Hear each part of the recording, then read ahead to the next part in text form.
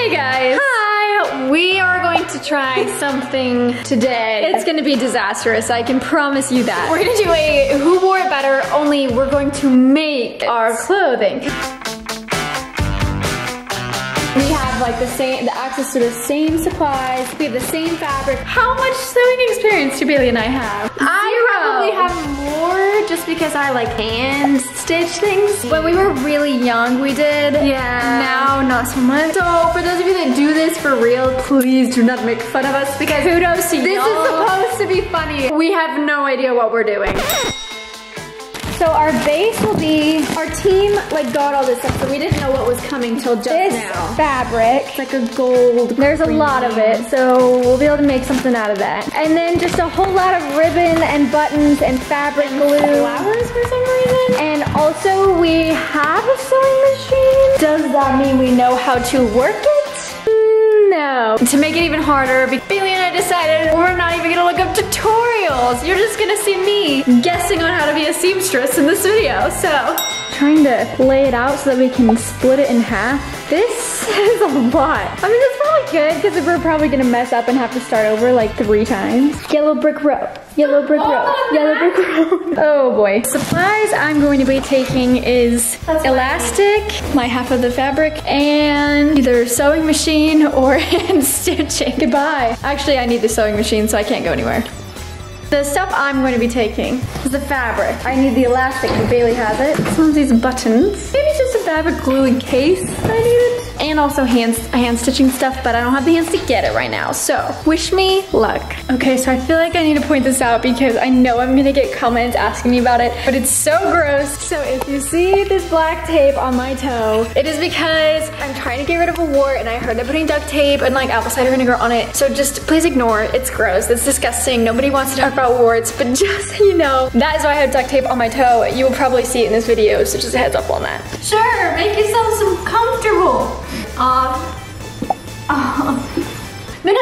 oh. All my fabric is laid out. I don't even know where to begin. I guess the first thing I should, Finn! First things first, I honestly, to be honest, am not a huge fan of this fabric. We're just gonna have to make do with what we've got because that's the only fabric I have. I'm thinking that I could do a, like a, a tank top, kind of like tube top tank top with like a, one of those elasticy waists that's a little cropped and I'm gonna put like buttons on the tank so it can like button maybe. And, or maybe I'll just do straps. I don't even know what I'm making. But the thing is that I know like the measurements and stuff. Like I'm gonna have to measure my waist and here to here and here to here and all these things and my chest and blah blah blah. So that's the first thing I'm gonna do is try to measure, see if I can get the fabric cut correctly.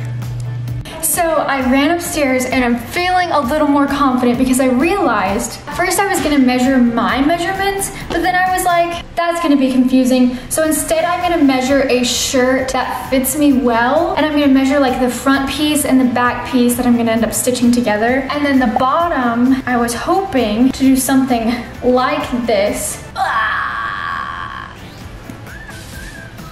I have not a single clue what I'm doing.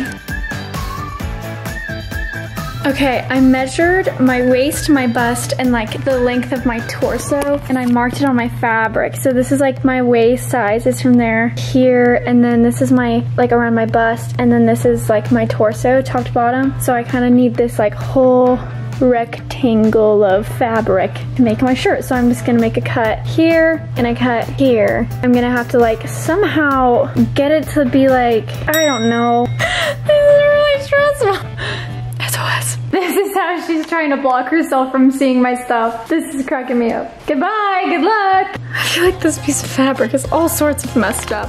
I don't really know where I went wrong. Something's, this is wrong and I know it, but we're just gonna have to do what we, I'm already stressed about this and I just don't think it's gonna get any better. So you guys can probably just barely see the outlines of my measurements.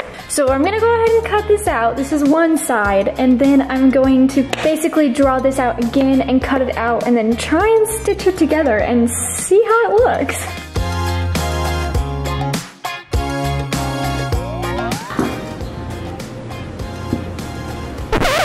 Oh no. it would like sit like here and have all this space. Oh no! I got my fabric, I don't know if you can see it, I got it pinned around the stretchy band, so I'm gonna try to sew it. I don't know if the sewing machine is going to work. Oh, okay. Okay, okay, okay. I'll just need to be careful. Okay, it works. Uh-oh. Something happened.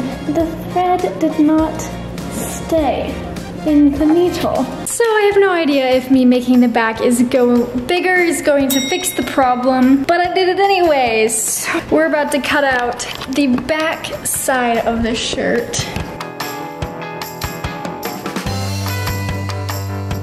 Okay, now I have my front and my back of the shirt. One is drastically, drastically larger than the other. We're still gonna try and stitch them together because I still haven't even started on my bottoms. Are you doing bottoms? Let me get through my top. Yeah, I think we're just gonna do top because this is taking five ever to do. I have so much more respect for people that do this. Okay, I kind of know how to pin, only a little bit because I used to do some kind of stitching. So here we go. All right, I've decided to call my grandma because she's going to help me set up the sewing machine because I cannot figure it out. The screen's so blurry. There we go. Hi. Who's here? How does one thread a sewing machine? Um, what kind of sewing machine are you trying to thread? I don't know, it's this thing. Is it your mom's Bernina? Yes. Nice. After getting poked a million times, I am now realizing that it was not smart to try and make one bigger than the other. So I'm gonna go ahead and recut another piece that is as big as the back so that they can match. Try number three. Haha, one pin down, the correct size cutout. Let's go. She got it figured out, guys. My For the both stitches are gonna be so crooked and so bad. This is the worst thing ever. I'm so dumb. I pinned my whole shirt the wrong way. Ah! Again, everybody, we're doing it again. my little stretchy waistband. Look at how cute this waistband is. Go me, go me. We got the stretchy waistband, stretchy waistband. Ow! Dang it. I've stitched one of the sleeves on and then I decided it's going to be easier to hand stitch the sleeves on so I can get them to be the right length. So I'm gonna hand stitch the sleeves on, stitch the buttons on, and then I'll be done and we'll see if we can put it on.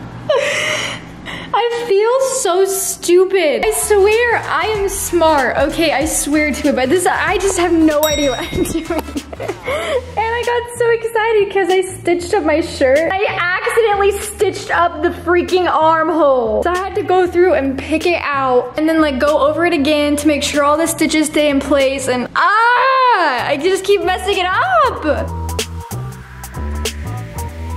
Yeah, I'm sorry. I just found out that I can't get into my shirt, doesn't matter what I do because it's too small.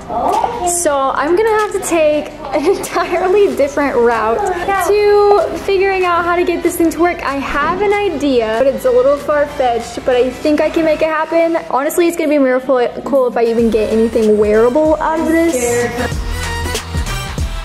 I just sewed myself some really ratchet little rope strips because the sides of mine, when I put the shirt on, had about this much space between them because I'm terrible at measuring apparently. So I decided to take this and I would do like a weaving pattern on the side to fill in the spots, but also keep the shirt secure and also make it look a little trendy because, you know, it was kind of bland at first. Here's the thing, right? I stitched this sleeve on and then this one I stitched like under the armpit. So I'm gonna have to like try to stitch it while it's on to get a good thing. Also, this stretchy band waist not turned out the way I wanted it to. It's not tight at all. It was supposed to be like tighter like that and it just did not turn out that way. It's like super loose. So that's also a little whoops on my part, but uh, the rest of it is, yeah, we're,